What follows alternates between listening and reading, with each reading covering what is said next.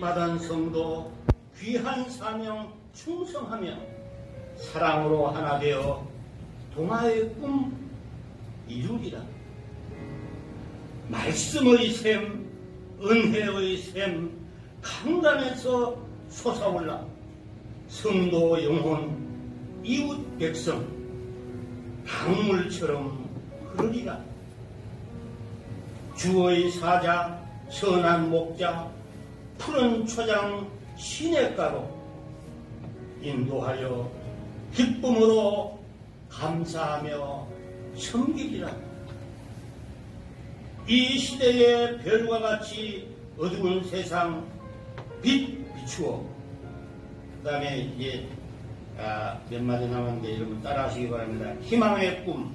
희망의 꿈. 이루리니. 이루리니 만세 아멘. 만세 아멘.